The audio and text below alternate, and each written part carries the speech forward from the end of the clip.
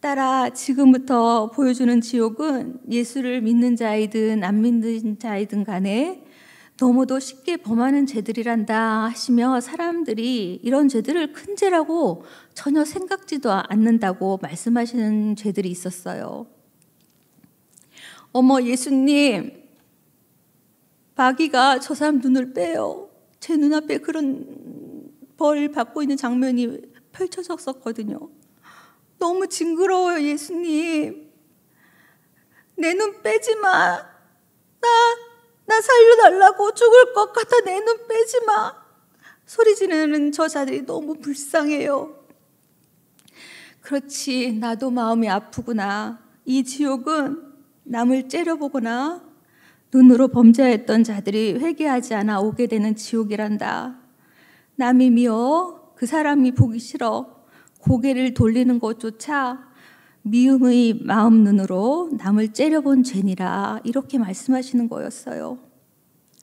예수님 째려보기 싫어 눈을 피한 자체도 마음의 눈으로 째려보는 죄를 지은 건가요? 하고 여쭤봤더니 주님이 그렇다고 하셨습니다. 주님, 저도 그런 적이 많아요. 용서해 주세요. 미운 마음이 조금이라도 있으면 즉시 즉시 회개할게요. 잘못했어요, 예수님. 이렇게 주님께 기도했습니다. 사랑하는 딸아, 반드시 전하거라. 이 지옥은 너무나도 악한 곳이란다. 이 지옥은 세상에서 회개하지 않으면 오게 되는 것인데 기회는 죽기 직전에 죽기 직전까지밖에 기회는 없단다. 회개할 기회가 죽어서는 전혀 없단다. 이렇게 말씀하시는 거예요. 그러시고는 죄 지은 것이 있으면 즉시 즉시 회개할 것과 아까 말씀드린 것처럼 목숨이 붙어 있을 때 회개하라고 어, 세상에 가면 나의 사랑하는 자녀들에게 꼭 전해주라고 말씀하셨습니다. 이렇게 말하는 동안 주님은 또 다른 지옥을 보여주셨습니다. 이번에는 입술로 지은 지옥의 방을 보여주셨는데요.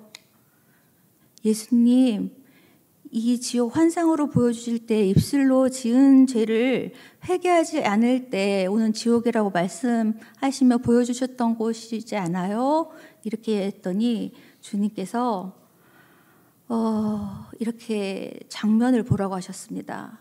그런데 아, 나 죽네. 나 좀 살려줘. 살려달라고. 마귀가 내 혀를 다 빼서 소리를 낼 수 없는 영혼인데도 그 영혼이 소리를 지르고 있었어요.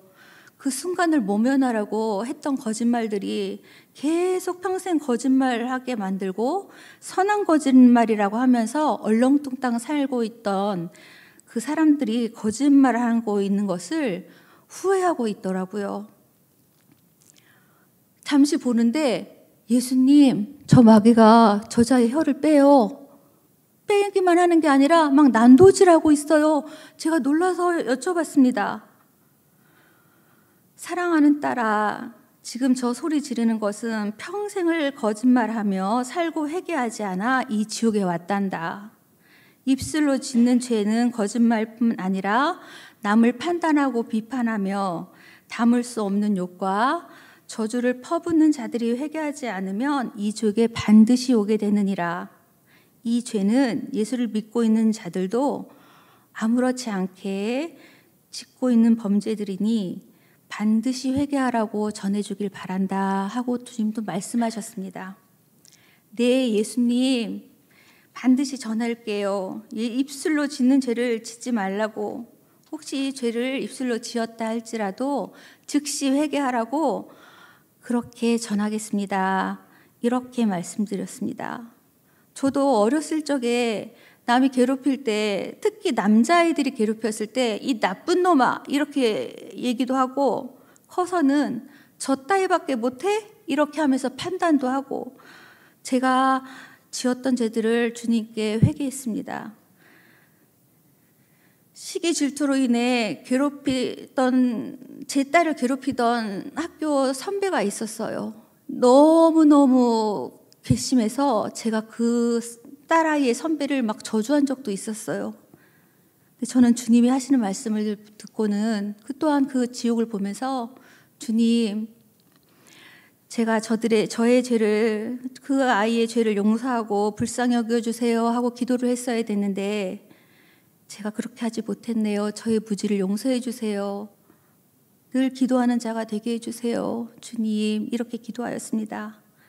그런데 주님이 어, 또 자세히 보라고 하시는 곳이 있어서 보았더니 미워할 때 심장을 마귀가 파가고 있는 거였어요.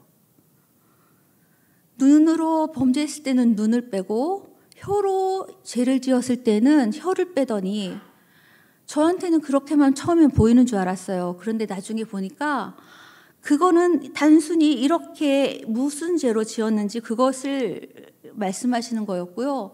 그것만 형벌을 받는 것이 아니라 온몸이 악한 영의 고통을 다 당하고 있었어요.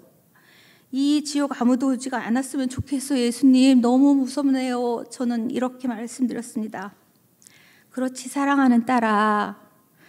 내가 우리 딸의 여린 마음을 잘 알기에 수많은 지옥들을 이렇게 나누어 보여줄 것이란다. 하시면서 앞으로도 계속 이어진 입신에서 많은 지옥들을 보여주셨습니다.